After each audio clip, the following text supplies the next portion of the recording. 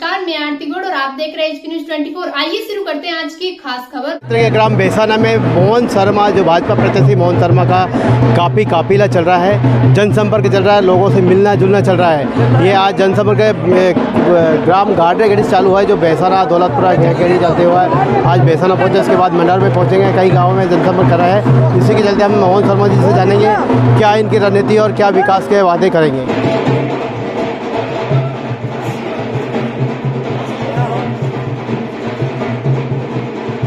नहीं मतदाता को प्यार आशीर्वाद मिलेगा। माननीय मुख्यमंत्री की जो योजना है लाडली बहना योजना बहुत महत्वपूर्ण योजना है और अन्य जितने भी कार्य किए हैं माननीय मुख्यमंत्री जी ने बहुत ही सराहनीय कार्य किए हैं और उस आम जन जन तक उसका लाभ मिला है।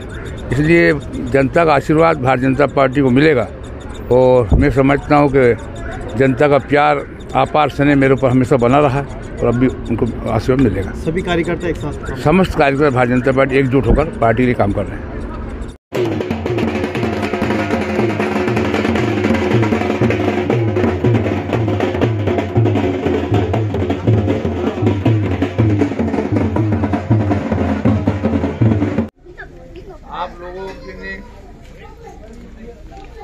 मेरे लिए भगवान से प्रार्थना की। बहुत सारे लोग यार तो भगवान से प्रार्थना टिकट को मिले यार। ये लोगों की अंतरात्मा क्या बात पटेल ने कई बार मेरे याद कर मिले तो छोड़े यार।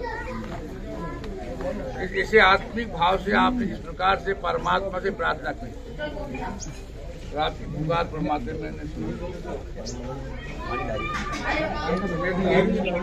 मैं चुनाव थोड़ी लड़ पाया।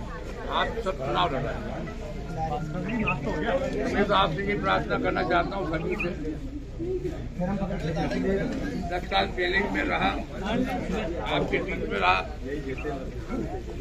और जब विधायक नहीं था, जब भी आपके बीच में रहा।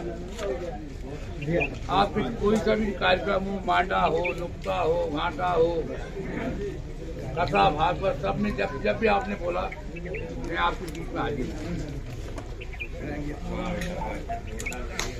और मैंने ऐसा कोई गलत काम भी नहीं किया जिससे कि आपकी भावना को ठेस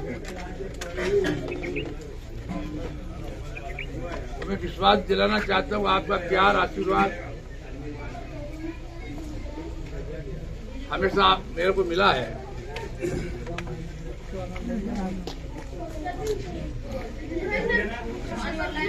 मैं ज़्यादा कुछ कहना नहीं चाहता। तो गरीब ब्राह्मण आपसे गीत मांगने आया। और मैं दौलत नहीं मांगने आया, सिर्फ़ आपका अमूल्य मत जो है, मेरी झोली में डालने तो ये मैं प्रार्थना करना